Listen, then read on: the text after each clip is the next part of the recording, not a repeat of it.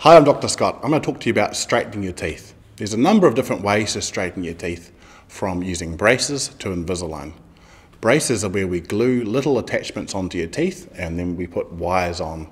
You have to come in every four to six weeks to have them tightened, and over the course of usually two years, you have brand new straight teeth. Invisalign is a procedure where we give you clear aligners that slowly straighten your teeth.